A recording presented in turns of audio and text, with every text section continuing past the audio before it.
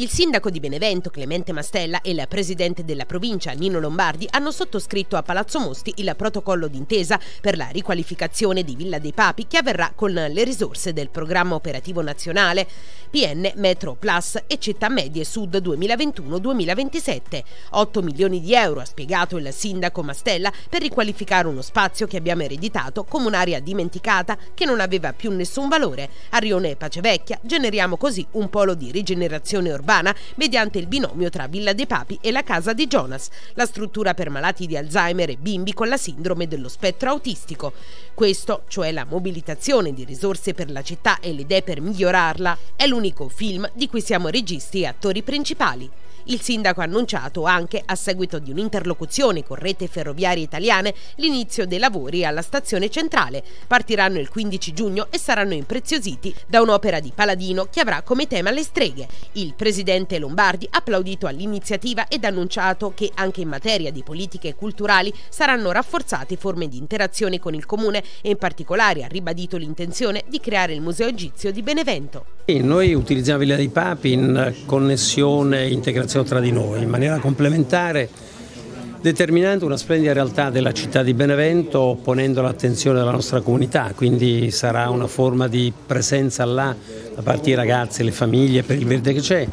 Ricostruiremo secondo regole d'arte che sono prescrittive da parte della sovrintendenza la stessa struttura che c'è, la utilizzeremo nel modo migliore e peraltro vedremo un percorso sul piano del verde che va dai Papi fino alla, alla, casa di Jonas che sarà la casa dove andranno i ragazzi autistici e i malati di Alzheimer, quindi sarà una bella cosa anche per loro, un percorso diciamo, di serenità e di godibilità per quanto riguarda e speriamo anche per le loro famiglie. Credo debba essere il 15 giugno, la ditta proprio inizia i lavori il 15 giugno, cioè già eh, la ditta già sta in essere, insomma è presente hanno ritardato un po' per la semplice ragione che bisognava far firmare o far vedere sottoporre all'attenzione il nuovo amministratore delegato delle ferrovie, quindi come tale questo è stato il motivo del ritardo, però insomma si va avanti in maniera molto spedita, anche perché essendo lavori legati al PNR dobbiamo terminare per il 2026, dopodiché non c'è motivo che possa tenere lontano i riflettori dell'Europa laddove fossimo inadempienti, non, non tanto noi ma la, la, le ferrovie. E là invece eh, metteremo davanti alla stazione questa opera di Palladino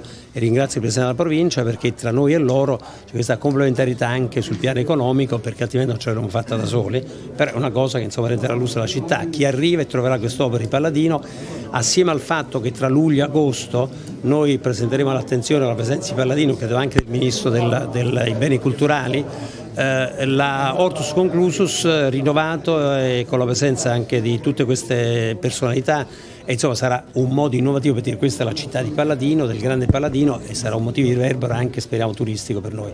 Il contenuto del protocollo ecco, comunque costruisce questo orizzonte per Villa dei Papi, il recupero oggi lo può fare attraverso questa fonte di finanziamento il Comune, noi condividiamo questa struttura neogotica e ci sembra opportuno, doverosa questa sinergia perché recuperare Villa dei Papi, anche il parco e riconsegnarla alla comunità credo che è questo il compito principale dell'istituzione, Comune e Provincia lo stanno facendo ma soprattutto per esaltarne e diffondere le immagini del nostro patrimonio e il recupero di questa struttura, poi anche la gestione che già è descritta che ha finalità sociali e culturali e quello che poi tra l'altro si aspetta una comunità, si aspettano le famiglie e noi dobbiamo lavorare ecco, per riconsegnare tutto ciò che è patrimonio e tutto ciò che ci appartiene.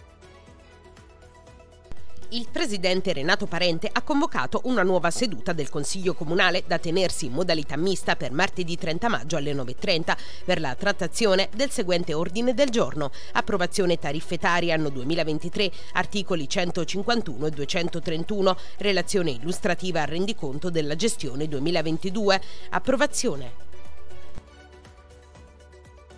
via libera all'iter per il nuovo piano urbanistico comunale. Pubblicata all'albo pretorio la determina contrarre per l'avvio della procedura negoziata finalizzata all'individuazione del professionista che si occuperà della redazione del nuovo piano. L'assessore Molli Chiusolo lo ha annunciato in audizione con i consiglieri della commissione urbanistica presieduta da Alfonso Martignetti. Il nuovo PUC, spiega l'assessore Chiusolo, si ispirerà ai principi cardine già fissati con la delibera consigliare del 20 dicembre 2022, ovvero la riduzione del consumo di suolo, la rigenerazione urbana ed il rinnovamento del patrimonio edilizio esistente mediante il contenimento dell'espansione urbana. Ovviamente si terrà conto anche del lavoro avviato con la variante che ne costituirà parte integrante. Ho intenzione di avviare insieme alla Presidenza del Consiglio un ciclo di incontri con tutti gli stakeholders della città.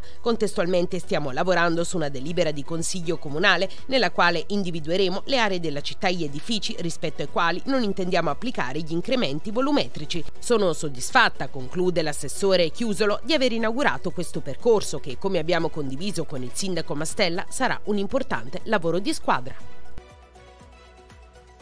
24 giovani svolgeranno attività di servizio civile presso il comune di Benevento. Questa attività formativa sarà adempiuta in diversi settori e uffici del comune, tra cui i servizi al cittadino, la biblioteca e i servizi demografici. L'esordio è avvenuto a Palazzo Mosti, dove sono stati accolti dal sindaco Mastella, dal consigliere delegato alle politiche giovanili Barbieri e dal dirigente del settore servizi sociali Santa Maria. Il sindaco Mastella ha augurato loro buon lavoro questa esperienza formativa possa essere viatico di esperienza professionale proficua. Il servizio civile nel comune rappresenta anche un'ottima occasione per conoscere e toccare con mano i problemi della propria città e l'impegno che si profonde per risolverli. Sei un parrucchiere o sei un estetista? Art Joer Design Saloon ricerca personale qualificato un parrucchiere ed un estetista per ampliamento organico. Invia il tuo curriculum a goldsrls 2020 chiocciolalibero.it o telefona allo 0824 0451 68 o ancora contattaci al 342 52 74 535. Se sei un parrucchiere o un estetista, insegui i tuoi sogni. Lavora con noi. Ti aspettiamo! Il 2, 3 e 4 giugno torna nella bellissima villa comunale la mostra mercato Benevento in fiore. Protagonisti le piante e i fiori di stagione, le tipicità, i prodotti dell'orto, l'artigianato, le attrezzature, l'arredamento per il giardino e per l'outdoor, i prodotti naturali e biologici, il benessere naturale, l'ambiente, le fonti energetiche alternative. Benevento in fiore vi aspetta dal 2 al 4 giugno 2023 nella villa comunale di Benevento. Desta rammarico, ma non stupore, il fatto che l'ospedale San Pio di Benevento sia tra i 12 peggiori per livello della performance sui 53 presidi sanitari presi in esame dal rapporto Agenas. Non possiamo rassegnarci al lento declino dell'ospedale San Pio che avevamo percepito con nitidezza, salvo poi dover registrare con amarezza una ruvidità di rapporto con il management che si è tradotta in una chiusura al dialogo inconcepibile, alla luce dei problemi evidenziati anche dai dati dell'Agenzia per i Servizi Sanitari, così in una nota il sindaco di Benevento Clemente Mastella. I risultati clinico-assistenziali confermano un andamento di declino. Il deterioramento dell'indice di rapporto tra medici e posti letto anche a causa del fenomeno delle dimissioni di massa, le disfunzioni al pronto soccorso e altre criticità che periodicamente sono segnalate da utenti e sigle sindacali confermano un quadro abbastanza scoraggiante. Il management del Zampio ha l'obbligo del dialogo e l'onere di guardare in faccia i problemi. Non ho fatto nulla perché fossimo negli ultimi post graduatoria, anzi io ho tentato di dare una mano, ma si rifiuta la, la, la direttrice dell'ospedale in maniera maleducata sul piano del comportamento istituzionale di vedermi perché l'unica mia intenzione sottoporre la sua attenzione, criticità, valutare assieme che cosa fare nell'interesse della mia comunità. Quindi anch'io ho sofferito in questi giorni l'ospedale, però insomma, vorrei che l'ospedale fosse ottimo nella qualità, nella presenza già medica importante, insomma di fare una cosa che sia complementare a quella richiesta di aiuto che arriva da, da persone che stanno in difficoltà sul piano sanitario. I dati a Genas non sorprendono. Purtroppo il collocamento del San Pio tra le aziende sanitarie pubbliche in Italia peggio valutate da parte della Genas genera tristezza ed anche amarezza. Lo scrive l'avvocato Nicola Boccalone, rappresentante dell'Assemblea di Territorio del Tribunale del Malato. Bastava una rapida lettura dei dati gestionali da tempo esposti sul sito dell'azienda per rilevare un'evidente curva discendente a decorrere dal 2018 del valore quali quantitativo delle prestazioni sanitarie offerte all'utenza. L'amarezza è ancora più profonda se solo si pensa che da oltre un quinquennio l'intero sistema sanitario regionale aveva recuperato sul piano progettuale e programmatico il favore legislativo e un carico finanziario di significativa importanza. Le precedenti gestioni a quella in essere si sono segnalate per aver addirittura annullato procedure concorsuali avviate. Alla luce di tutte le problematiche, l'associazione Cittadinanza Attiva Tribunale del Malato ha offerto e continua ad offrire la sua disponibilità a riflettere su come migliorare l'offerta sanitaria, avvalendosi delle esperienze e della professionalità maturate dai non pochi associati, per far leva sul senso di appartenenza e di passione di tanti operatori che quotidianamente si impegnano nel proprio lavoro. Il consigliere regionale vicepresidente della Commissione Lavoro, Turismo e Attività Produttive della Campania, Erasmo Mortaruolo, ha indirizzato un'interrogazione urgente alla Presidente della Giunta, Vincenzo De Luca, e alla Presidente della Commissione Trasporti, Luca Cascone, al fine di conoscere lo stato di avanzamento dei lavori previsti sulla linea Benevento-Cancello e l'effettivo rispetto dei tempi contrattuali. Al contempo il consigliere ha chiesto di aprire immediatamente un tavolo di concertazione al fine di definire in maniera ottimale la gestione del servizio sulla tratta in oggetto nell'interno nell'interesse degli utenti e dei lavoratori. Prestigioso riconoscimento per l'azienda Sampio di Benevento. A Rimini, durante il 54 congresso nazionale di cardiologia dell'Associazione Nazionale Medici Cardiologi Ospedalieri, è stata attribuita la targa d'oro per la ricerca clinica al dottor Marino Scherillo, direttore dell'unità di cardiologia e direttore del Dipartimento Cardiotoracico Vascolare dell'azienda ospedaliera Sampio. I cantieri parlanti della nuova linea alta velocità alta capacità Napoli-Bari hanno aperto le porte a un gruppo di studenti della Facoltà di Ingegneria dell'Università del Salento e a una delegazione dell'Ordine degli Ingegneri della provincia di Lecce. Dopo l'arrivo al campo base di Telese in provincia di Benevento, il gruppo si è spostato alla volta del viadotto in costruzione sul fiume Calore per poi raggiungere l'imbocco di una galleria artificiale. La visita si è conclusa nel cantiere dell'imbocco della galleria di Grotta Minarda in provincia di Avellino dove è in corso il monitoraggio della talpa meccanica. Cantieri Parlanti è un progetto del gruppo Ferrovie Statali in collaborazione con il Ministero delle Infrastrutture e dei Trasporti, i commissari straordinari di governo e le imprese coinvolte nei lavori. Tutti i cantieri del polo infrastrutturale del gruppo parlano un linguaggio semplice, trasparente ed immediato, condiviso con i territori.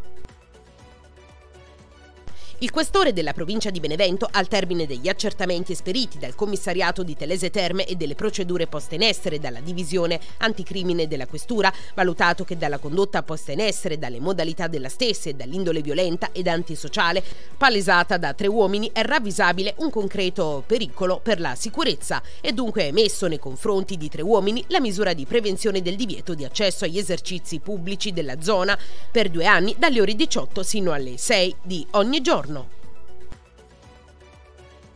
È in programma a partire dalle ore 15.30 presso l'Unifortunato la fase iniziale dell'edizione iFactor 2023, nel corso della quale saranno premiate le migliori idee imprenditoriali con due premi da 500 euro.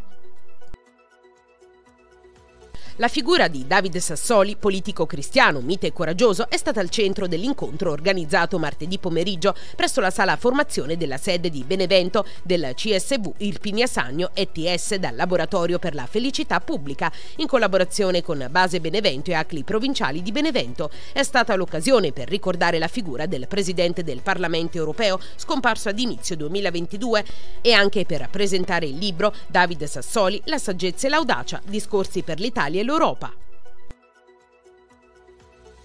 L'Associazione Diabetici Italia Meridionale con il patrocinio del Comune di Benevento organizzano per il 27 maggio dalle 15 alle 19 la giornata della prevenzione cardiologica. La visita cardiologica con ECG sarà eseguita dalla dottoressa Federica Provenzano, medico specialista nello studio e nelle cure delle malattie cardiovascolari. Prenota il tuo screening al 351 7185 946. È iniziato ufficialmente il nuovo percorso del Benevento Calcio che ha presentato il direttore tecnico Maurizio Carli che ha siglato un accordo triennale con il sodalizio giallorosso. In sala stampa assieme al neodirettore il presidente Oreste Vigorito che ha voluto fortemente il direttore Carli chiamato a riorganizzare la squadra e non solo cercando di cancellare la bruttissima parentesi di questa stagione culminata con la retrocessione in Serie C. Ascoltiamo le dichiarazioni ai microfoni di TV7. Cominciamo da capo ma cominciamo con uno spirito nuovo facendo per quanto mi riguarda e spero lo facciate tutti un esame dei propri errori se ci sono stati, delle proprie analisi e proviamo a dare una mano a questa società, a questo pubblico, a questo direttore che ci ha messo la faccia e sta venendo qui per aiutarci a fare un percorso, mi auguro, bello e di soddisfazione per tutti quanti. Prego, direttore. Sono strafelice, Presidente è stato gentile, ma io, lui è stato con me bravissimo perché mi ha chiamato in un momento difficile per lui, ma anche per me, perché comunque io vengo da un'esperienza negativa, dove ho fatto degli errori, dopo me ne sono presi, dove me li tengo tutti, non, non ho mai cercato scuse, non ho mai fatto interviste, non ho mai fatto niente, me ne sono stato a casa mia eh, a tenermeli dentro perché questo tenermeli dentro mi doveva dare la forza di ripartire. E siccome io cercavo un posto